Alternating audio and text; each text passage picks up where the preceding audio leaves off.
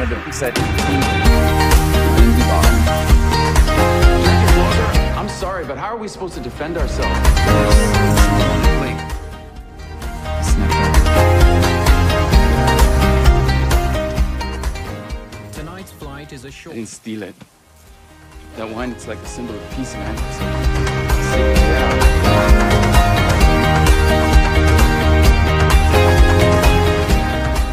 But I spent two hundred thousand dollars on a weekend.